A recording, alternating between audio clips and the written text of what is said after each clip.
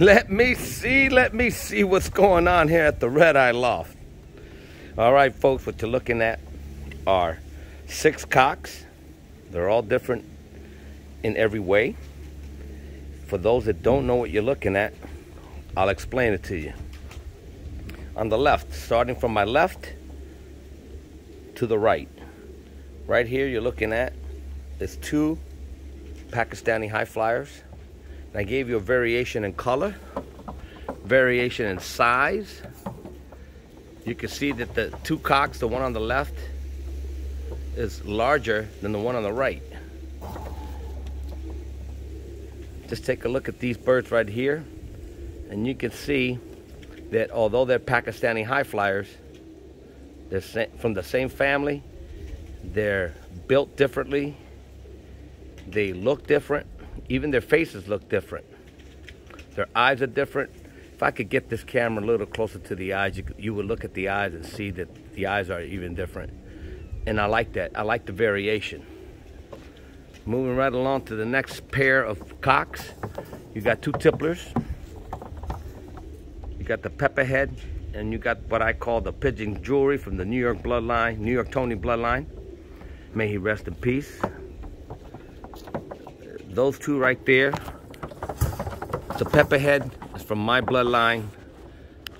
The the uh, the New York Tony one right down the left they're about almost the same size. I say that the black one, uh, the blue grizzle, whatever you want to call it, is a little larger. The pepperhead. then you have Serbian high flyer. Again, different type of a performing bird. They're all performing uh, birds, but um, the one, the blue bar, you can see it's different. It's got more of a pearl eye. The one on the left the black and white one, it's got a bull eye. I've never really been a big fan of bull eye.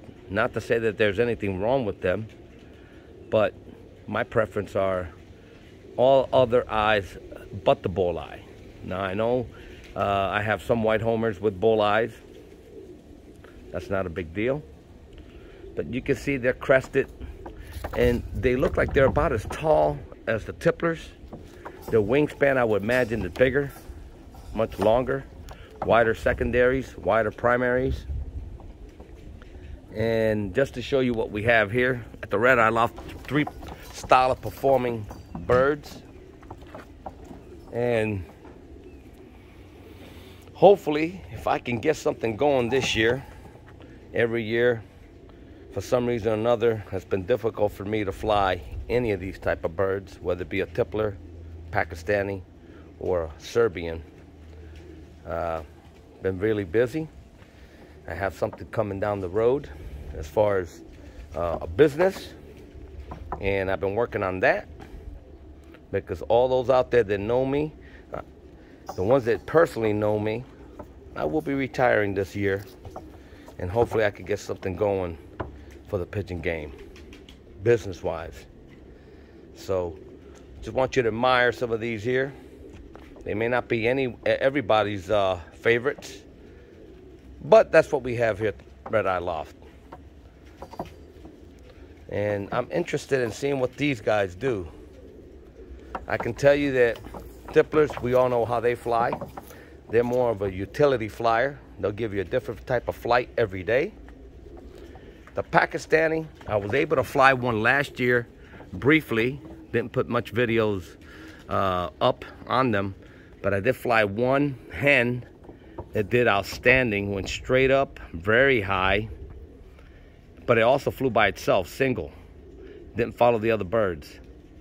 And that's the reason why these birds are different from all the other ones. Tipplers will fly in groups.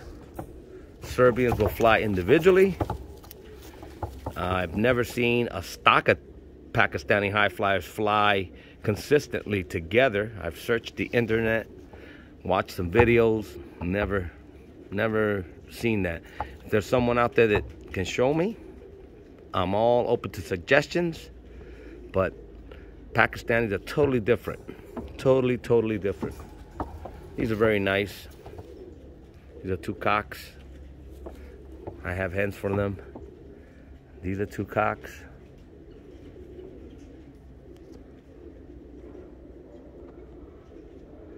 And of course, Serbian.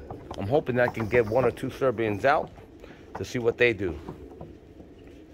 All right, folks, coming back at you from the Red Eye Loft like always.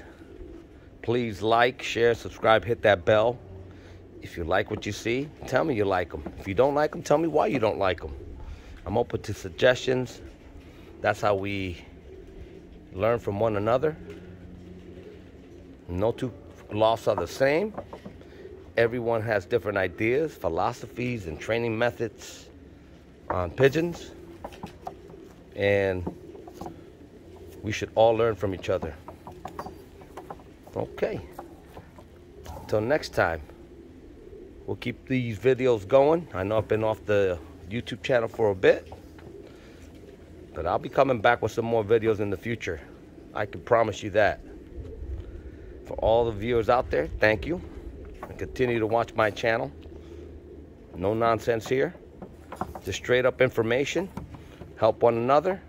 We can all benefit some way or another. Peace.